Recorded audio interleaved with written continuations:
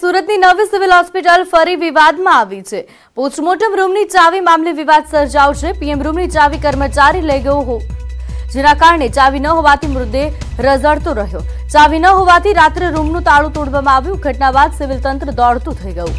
નવી civil hospital ફરી વિવાદમાં આવી છે પોસ્ટમોર્ટમ રૂમની ચાવી અંગે વિવાદ સર્જાયો છે પોસ્ટમોર્ટમ રૂમની ચાવી કર્મચારી ઘરે લઈને જતો રહ્યો જેના કારણે